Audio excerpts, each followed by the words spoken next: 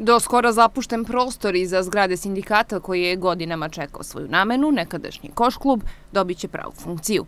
Prenosom vlasništva na grad, nekada mesto okupljanja mladih, ponovo će biti jedan od sportskih centara grada. Plan jeste da se stavi podloga od tartana, da se kompletno urade nove tribine, naravno oblik se neće gubiti, ništa se neće izgubiti, sve će ostati isto i pored sportskog sportskih događaja, tamo će moći da se organizuju i klizalište u zemljskom periodu i razne kulturne manifestacije, tako da ja mislim da će biti objekat koji onako diše punim plućima i živi.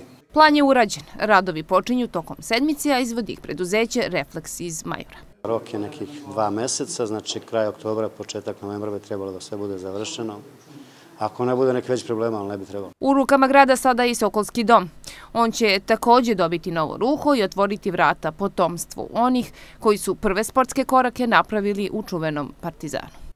Po prvi put u istoriji grada Koš klub i Sokolana e, su u vlasništvu grada, to jest u vlasništvu građana grada Šapca.